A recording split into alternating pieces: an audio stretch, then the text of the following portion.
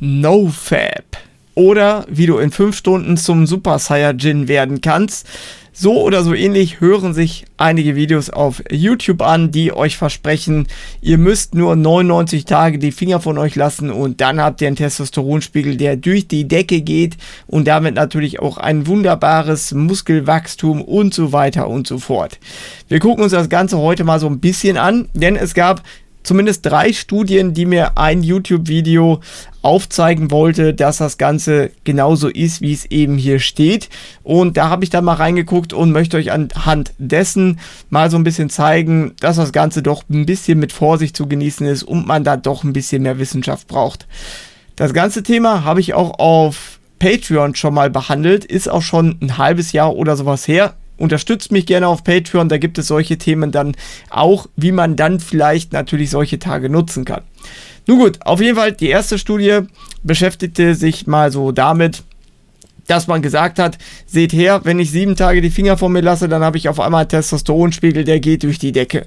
Was hat man gemacht? Man hat hier unten so ein paar Jungs genommen, die konnten sich jeden Tag die Palme wedeln, alles tut die Frutti. Ja, da hat man dann gesehen, okay, die haben so einen normalen Testosteronspiegel hier, völlig in Ordnung. Da hat man ein paar Jungs genommen, die ähm, und vielleicht auch Mädels heutzutage, ne? Da hat man ein paar Jungs genommen und hat gesagt, nee, ihr lasst mal die Finger von euch, sonst wachsen euch Haare an den Händen. Und da hat man gesehen, so nach sieben Tagen, hier gibt es so einen Testosteronpeak. Ja, jetzt fragt man sich natürlich, ja, ist ja geil. Ja, dann kann ich ja an Tag sieben die ganze Zeit voll trainieren gehen, dann habe ich auf einmal einen Testosteronspiegel durch die Decke und Muskelwachstum obendrauf und alles mögliche und hier und da. Naja, zum ersten Mal sollte man sich natürlich angucken, ist das jetzt wirklich so viel mehr ja, dass das Ganze in irgendeiner Weise relevant ist. Weil wir sehen zum Beispiel auch hier, da muss man immer darauf achten, wenn man sich die Skala hier anguckt, die Skala geht zum Beispiel erst bei 250 Nanogramm pro Deziliter los. Das bedeutet, dass man hier das Ganze schon sehr zusammengezogen hat. Ja, und absolut wäre der Unterschied dann vielleicht gar nicht mal so groß. Das bedeutet, ja, man hat hier natürlich einen kleinen Peak, aber ob das jetzt wirklich so viel mehr ist, dass sich das Ganze lohnt, sei mal wirklich dahingestellt. Da bist du wahrscheinlich mit so ein bisschen anderen Methoden schon mal zack deutlicher durch die Decke hier. Außerdem hast du ja die ersten paar Tage ja auch nochmal so ein bisschen negativ, ne? Weil du wahrscheinlich nichts abkriegst, bist du frustriert und dann geht es halt mal hoch und dann ist das Ganze wieder weg.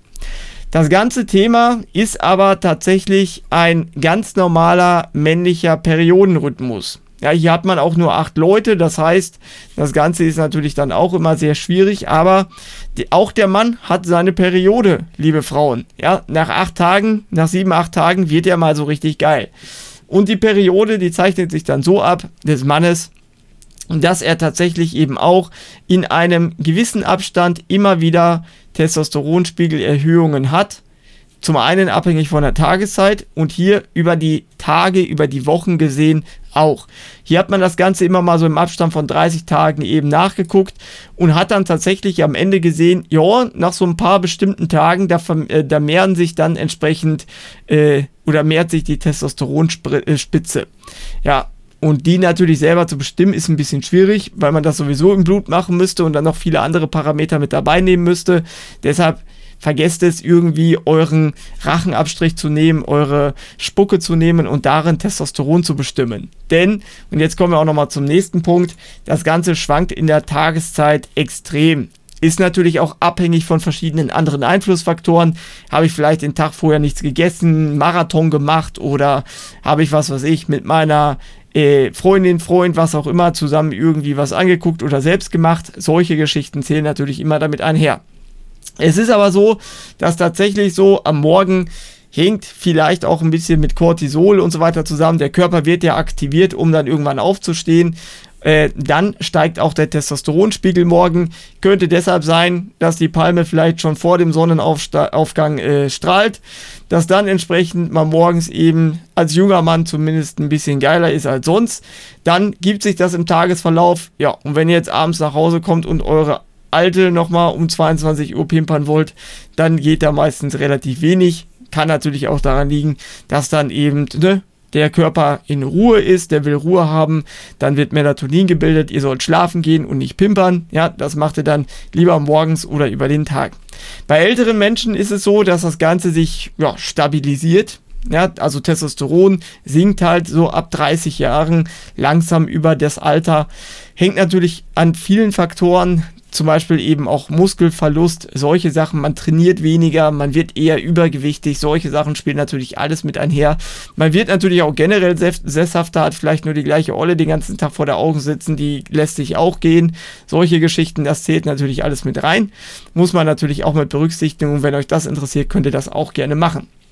Nichtsdestotrotz, diese erste Studie ist also relativ nichtsaussagend, weil das erstmal natürliche Schwankungen sein könnten. Zum zweiten ist der Unterschied jetzt gar nicht mal so groß. Zum dritten ist der Unterschied ja auch nur irgendwie einen Tag lang. Ja, also müsste ich ja quasi genau diesen Tag treffen, wo ich dann im Endeffekt hart trainieren würde, um das Ganze zu optimieren. Kann man vielleicht versuchen. Klar, habe ich auch in dem Patreon-Video gesagt, ne, wer das gerne ausprobieren möchte, der kann es ja mal testen. Ähm, aber, und das ist natürlich auch ganz normal, dass das irgendwann nach einer Woche mal wieder steigt, da nun mal die männlichen Hormone dann durchkommen und der Trieb dann gestärkt wird. Das zeigt entsprechend auch eine zweite Studie hier. Und zwar hat man arme Männer, arme junge Männer, hat man dazu genötigt, hier drei Wochen sexuell abstinent zu leben. Die haben hier zehn Leute genommen. Das äh, waren Männer eben mit Frauchen an der Seite und ähm, die haben zwei, dreimal die Woche haben sie schon ein bisschen gepimpert. Und dann hat man gesagt, nee, die eine Gruppe, die macht das jetzt nicht mehr, die andere Gruppe darf noch und hat dann eben geguckt, was am Ende mit dem Testosteron und so weiter rauskommt, wenn sie dann eben entsprechend wieder irgendwelche Filmchen gucken dürfen. So, jetzt ist die Geschichte, dass man hier das so gemacht hat. Nehmen wir mal das Testosteron. Man sieht hier jetzt in dieser Studie, und das wird in diesem YouTube-Video, was euch wieder NoFap verspricht, wird dann wieder gesagt, ja, seht her, Testosteron ist erhöht, ja, und so weiter. Ihr müsst einfach nur NoFap machen. Wenn ich drei Wochen irgendwie die Finger von mir lasse, keine Frau angucken darf oder sonstiges, ist es wohl logisch, dass man nach drei Wochen irgendwie dann voll geil wird, wenn man irgendwie nur ein kleines bisschen sieht.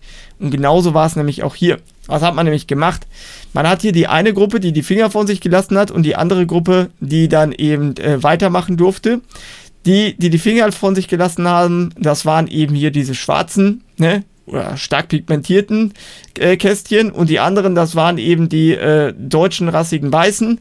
Die haben entsprechend hier äh, die ersten 20 Minuten haben sie eine Baseline gemacht, das heißt, die haben sich da ein bisschen entspannt, ne, nichts gemacht. Dann bei 30 Minuten haben sie sich ein kleines äh, Schmuddelfilmchen angucken dürfen, bei 40 haben sie sich dann die Palme gewedelt und danach ging der Testowert wieder runter. So. Äh, erstmal ganz interessant, dass er gar nicht mal so stark runtergeht. Ein bisschen geht er runter, geht halt auf das runter, wo er vorher im Endeffekt war. Also es ist jetzt auch nicht so, dass dann Sex euch irgendwie die Testosteronspiegel in den Keller haut. Nichtsdestotrotz hat man jetzt gesagt, weil man jetzt am Anfang hier in den ersten 10 Minuten gar keinen Unterschied sieht, wo die eben reinkommen, äh, ja, ist alles okay, setzt euch mal hin und so weiter, ne?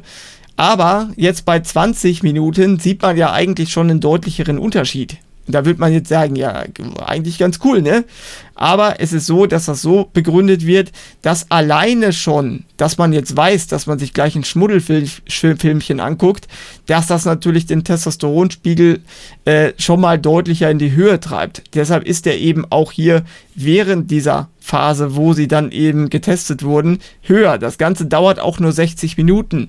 Wir wissen nicht, was vorher war den ganzen Tag, die Tage vorher war, wie sich das da entwickelt hat. Wir wissen auch nicht, wie sich das danach entwickelt hat. Die sind mit Sicherheit auch wieder, wenn sie dann eben wieder knattern durften, auf einen Spiegel gekommen, der eben wie der andere ist, also völlig normal. Der Unterschied ist hier auch nicht so riesig mega groß, ja, also hier auch wie gesagt sehr vorsichtig.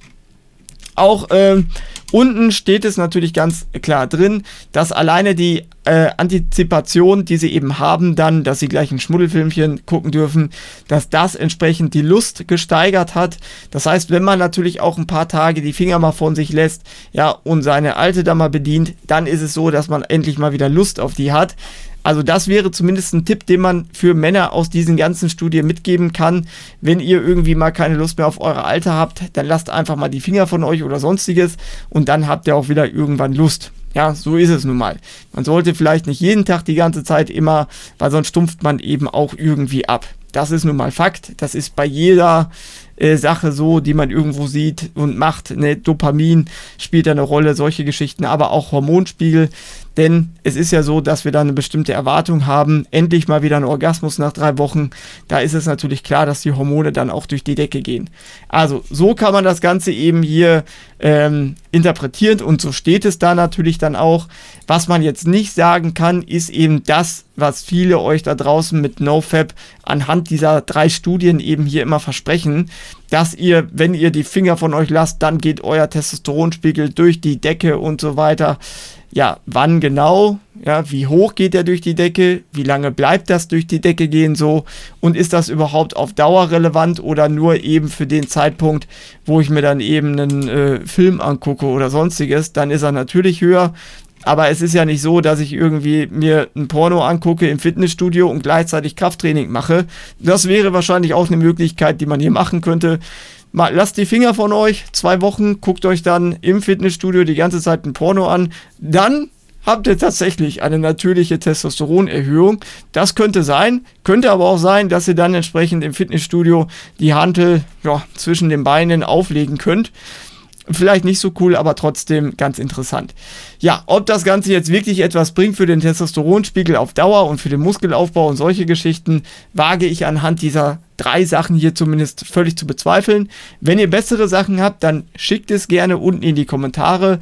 Schickt es mir per E-Mail oder wie auch immer, dann schaue ich mir das auch noch an. Zumindest an den Sachen kann man das nicht sagen.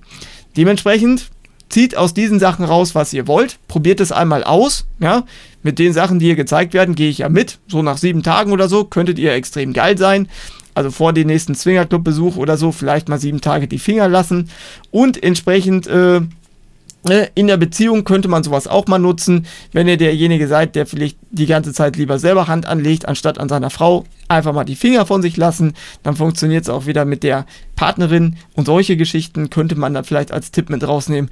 Aber alles andere ist dann eher Voodoo und noch nicht ganz wirklich belegt. Also, das war's damit. Ich hoffe, euch hat das interessiert. Gebt einen Daumen nach oben, gebt einen Ständer nach oben, kommentiert unten rein und ansonsten teilt auch gerne dieses Video und unterstützt gerne auf Patreon, denn durch die Patreon-Unterstützer werden solche Videos für euch natürlich auch ermöglicht. Also bis dann und tschüss. Dieses Video wird präsentiert von Poke.coach, deiner Internetadresse für höchst individuelle und professionelle Ernährungspläne und Coachings.